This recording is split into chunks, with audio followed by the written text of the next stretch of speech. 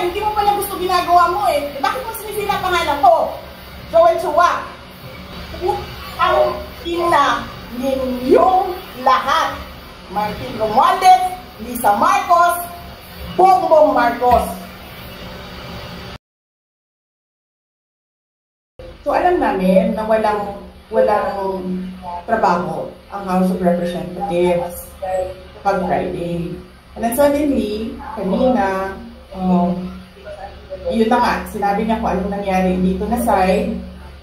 Tinawagan niya ako, sabi niya, you need to come because I need a lawyer. So pagdating ko dito, I told them I'm the, the lawyer. Pumasok ako, and then I read, I read the order. And then while I was reading the first order, another order uh, came in. And then, nakita ko doon sa order nila na parang by unanimous vote, parang ganyan. Then sa akin naman, parang, paano, ka, paano kayo nag-meeting? Wala nga kayong trabaho pag Friday. Sobra kahayahay ninyo ng mga tao. Kaming lahat, sa Office of the Vice President, Monday to Friday ang mga trabaho namin. Sa ibang opisina, Monday to Friday. I'm not saying na bawal yan. But, alam mo yun, that is something that civil service should think about may mga opisina ng gobyerno, apat na araw lang pumapasok. Yung iba, limang araw pumapasok. Nandyan sa daan, sa init, sa ulan, nandun sa bundok, naglalakad, tumatawid ng mga sapa, Monday to Friday, mga government employees, and then we have a House of Representatives, Monday to Thursday ang trabaho,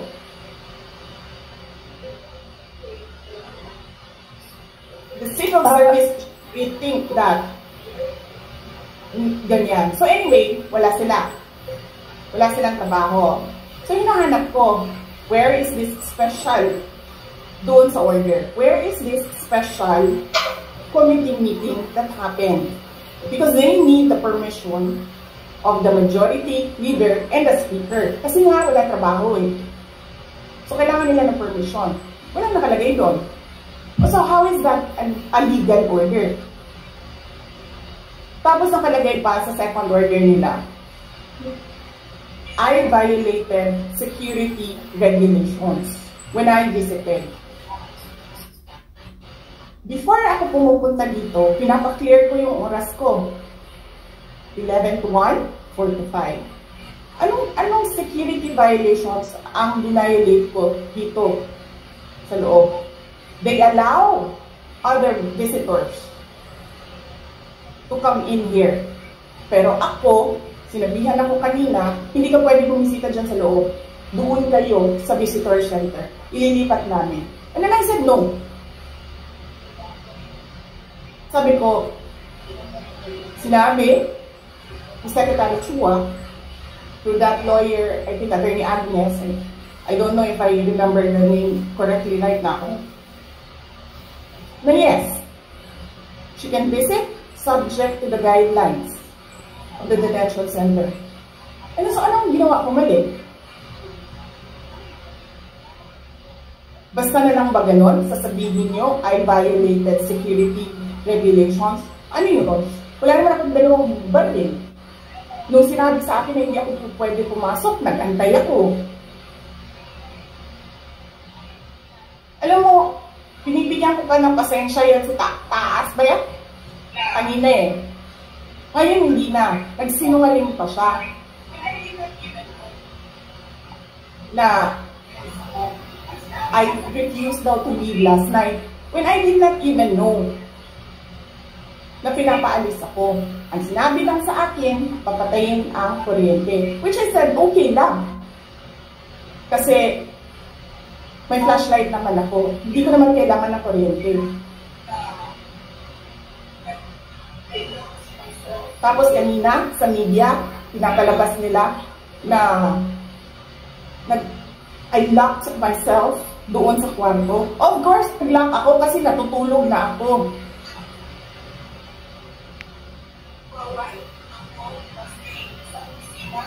Tapos, what? Bawal ako magstay sa opisina ni Congressman Pulong Duterte. Bakit? Is that that government property?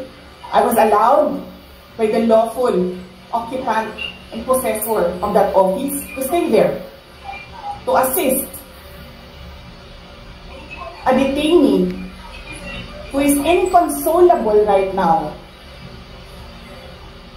Ay hindi mo na alam kung yung sakit niya sa likod is a heart attack. O ano, kasi hindi nila pinapapasok yung, uh, yung doktor. Diba? So yes, hinahanap ko kanina, sabi ko, where is this permission from the speaker? Na meron kayong committee, committee hearing kanina in the dead of the night to give an order na i-commit doon sa correctional facility. And where is the rule that says kapag may violation sa detention facility ay ililipat sa correctional facility? Ano yun? You make rules as you go along? Ano yun? Di ba dapat sa demokrasya, there's a rule of law? And then they make rules as they go along? Kung ano lang, whatever pleases the speaker, get her out of the House of Representatives. Kasi hindi siya dapat nandiyan. Bakit? Pag napay-ari niyo ba itong compound na ito, and then sasabihin pa nila sa akin na there is a threat to my life inside the batasang pambansa, why is there a threat to my life? This is the most secured facility because nandito lahat ng mga spoiled brat sa ating bansa. Tapos, sasabihin pa nila, well, uh, pabigat ka sa amin kasi kailangan namin dagdagan ng security mo. Bakit? Trabaho ba nila magbantay sa akin? Eh di ba trabaho ng DPSPG yon? Na may I just say? Binabawasan nila ng binabawasan araw-araw? As if this office is not the second highest office in this country and only because umalis ako sa administration Kailan ba nagsimula yung atake nila? Alalahanin nyo. Diba? After ako na-resign sa DepEd, kailan ba nagsimula yung pambabastos nila? Last year. After that meeting with the Makabayan Black and Martin Romualdez. They started destroying my name, pummeling me in the media with a multi-million PR campaign. Pinastos pa nila ako ng mga pagsisinungaling nila na kesyo taksin, kesyo korap, abusado, utang ina ninyo.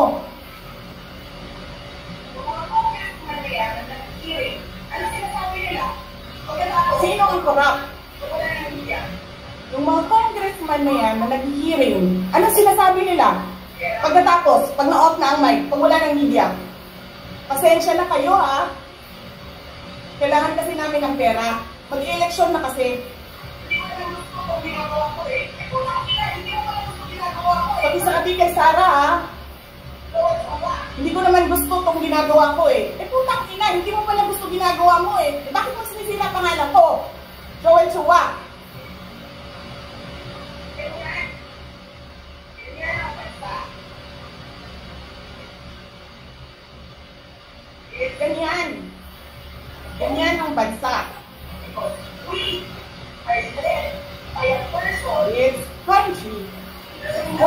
Fail because we are led by a person who doesn't know how to be a president and who is a liar.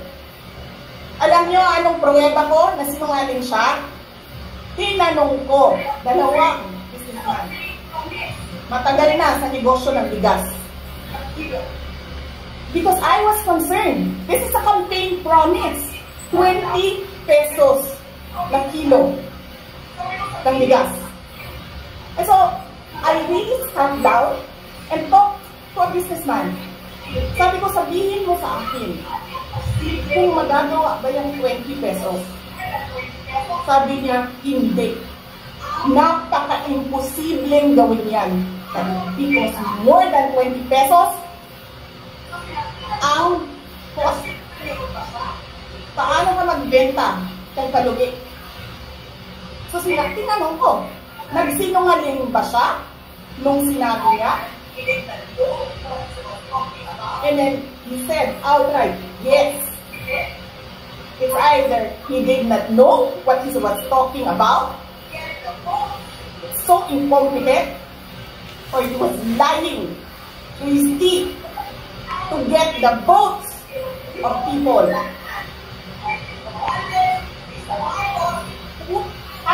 Ina ninyong lahat. Martin Romualdez, Lisa Marcos, Bongbong Marcos.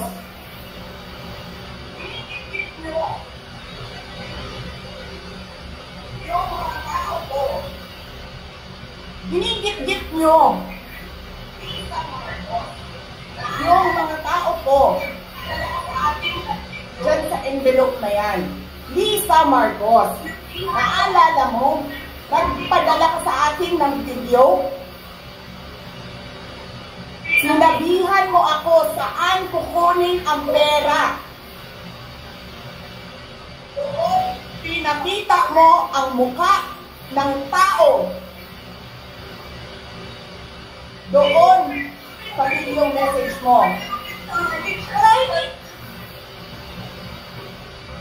She's been working with us for the longest time. We trust her.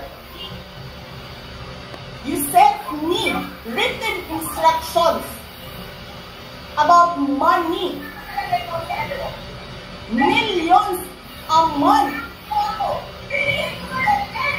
Anong nakalagay doon sa envelope?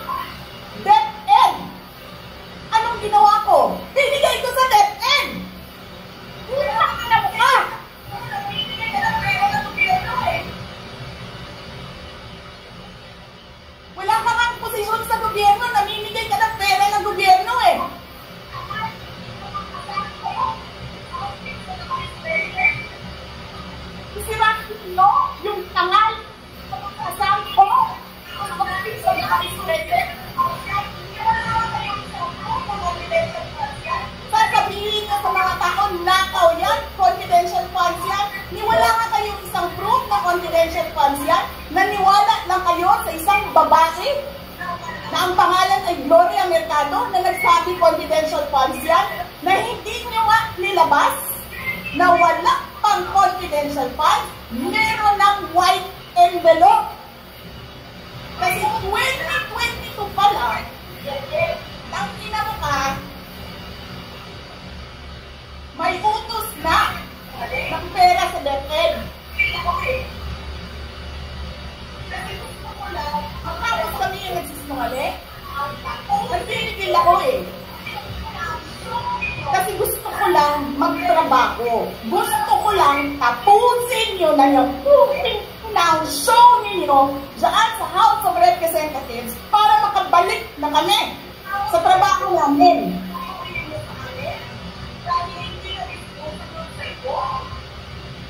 Tapos ganyan, ang gagawin ninyo sa amin dahil hindi kami sumusunod sa inyo, dahil ayaw na namin tumulong sa inyo,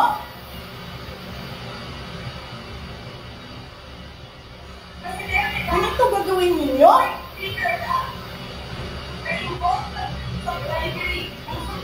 Presidente ka. May speaker ka. Na-involved sa bribery ng Supreme Court Justices. May video, may kaso, may witnesses.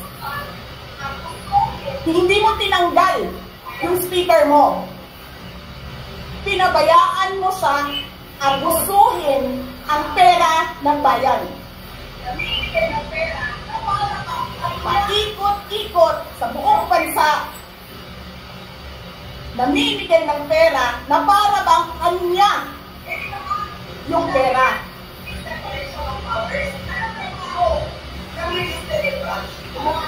Di ba nga, lagi nang sinasabi separation of powers. Anong trabaho ng legislative branch? Gumawa ng batas. Anong ginagawa ni Martin Romualdez? Nagdidirect ng DSWD, namimigay ng ayuda, ano, bibigay, bibigay, ano gagawin, sino ba ang presidente nito? Nagsasabi kung anong bibigay, anong bibigay, anong gagawin, anong, sino ba ang presidente dito?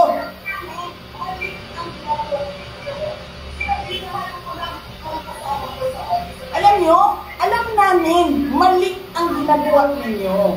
Sinabihan ko lang mga kasama ko sa Office of the Vice President, pasensya na, sumunod na lang tayo para matapos na sila. Tapos ganito ang gagawin ninyo, alam namin, walang contemptuous doon sa ginawa ni Yusek Lopez. Wala. Lahat ng tanong, sinagot niya. Pumunta siya. Maayos siya. Kumausap. Ano sasabihin ninyo sa amin? Bakit kami susulat sa COA? Bakit hindi kami susulat sa COA? Hindi tapos ang appeal namin. Hindi tapos ang audit namin. Tapos, uhaghag na ninyo dihaktanan ang isubmit na mo sa COA.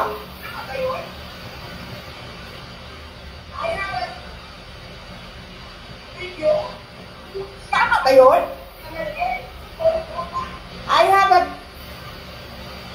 video Chairman Gamaliel Cordoba. Sinasabi niya, mali, mali, mali, mali ang ginawa niya. Tama ba yun? Ikaw ba ang auditor? Ikaw ang appeals. Wala pa kaming audit? Sasabihin mo na mali kami?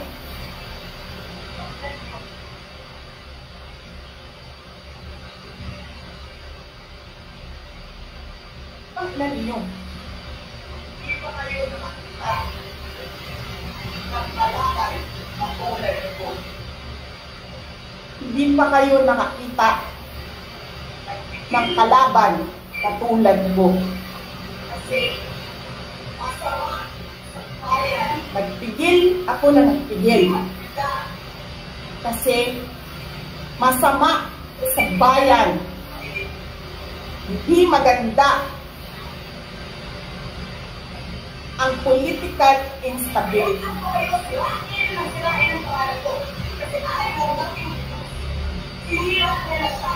Nabayaan ko kayo sirain ng sirain ng pangalan ko. Kasi I have nothing to lose. Sinira niya na siya. Wala na siyang ikakasira pa.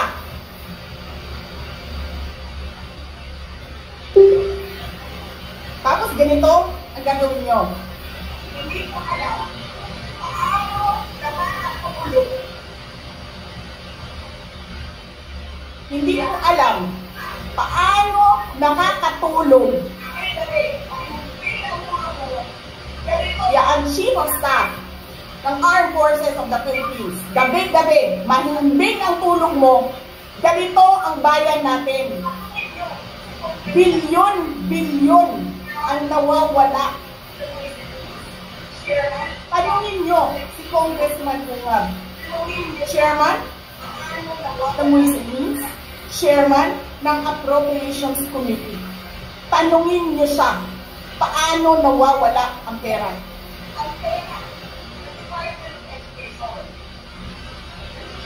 Paano niyo ginagel ang pera ng Department of Education?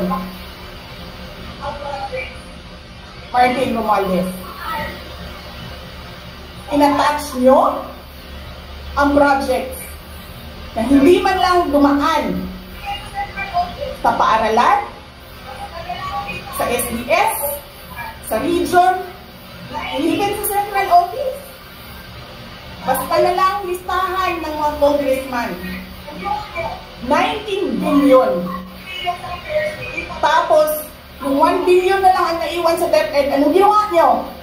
Kinuha nyo ang 5 billion sa repairs, nilipat nyo para mukhang lumaki ang pera.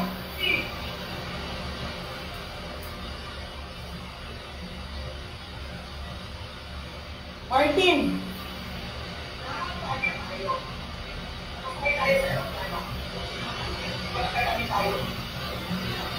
Nangangampanya tayo. Nakasakay tayo sa aeroplano. Magkatabi tayo. Nagre-reklamo ka, putang ina ka, walang pera. Kasi, ano sabi mo? Di om-om, ni Lisa Marcos o BBM ang kwarta. Walang pera sa kampanya kasi hindi nagbibigay si BBM at si Lisa. Hinihipit nila. Kuha nila lahat ang pera. Reklamo ka ng reklamo sa akin. Ano sinabi ko sa'yo? Huwag ka mag-alala. Lahat ng gusto tumulong sa akin, ipapadala ko sa iyo. Kunin mo lahat. Nagreklamo ka kay Medit Poblador kasi tumatanggap ng pera. Ano sabi ko sa'yo? Kausapin mo si Medi, kunin mo lahat ng pera. Lahat ng makuha mo na gustong tumulong sa akin, kunin mo. Gastusin mo. Ano sabi ko sa'yo? Pasensya ka na. Wala ka ng pera. Ano sabi mo sa akin? Sabi mo sa akin, okay lang. Pag nanalo kayo, babawiin ko lahat yan. Hindi ko naman alam, ang buong akala ko, babawiin mo sa negosyo mo. Legitimate businessman ka naman eh.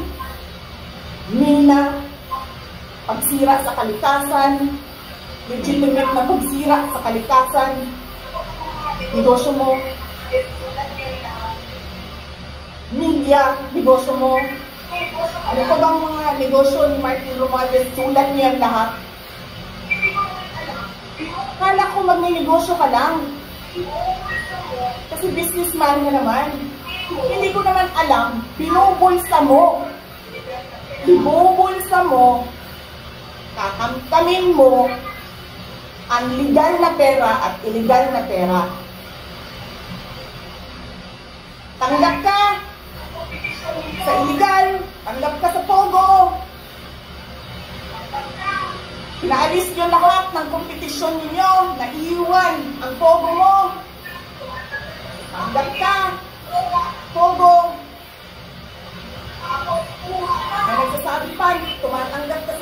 Smuggling, sa droga. Tapos kuha ka dito sa National Treasury. Akin ito, akin ito. Babawiin ko lahat.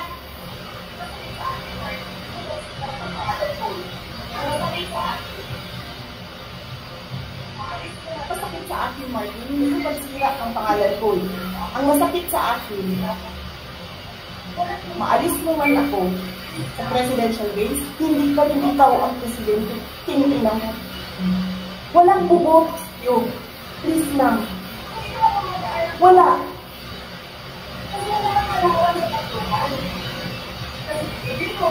Hindi ka nga dumadaan ng contest eh. Kasi wala kang kalaban sa Tacloban. Kasi binibili mo, pinapakidnap mo, hinaharas mo, ang mga kalaban mo. Hindi ka dumaan ng contest.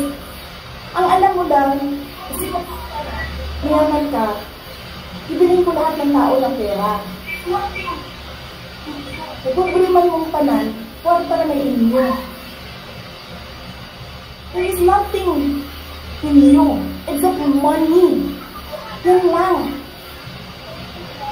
Martin, ngayon sa Tacloban eh. Palamang hindi na. Sino gusto sa lahat sa buong Pilipinas ang ibalik ka sa Kongreso? Hindi lahat ng tao pupunta yun doon sa Tacloban, mangangampanya yan sa kalaban mo. Kasi, magnanakaw ka. Hindi ka dumadaan sa ulit.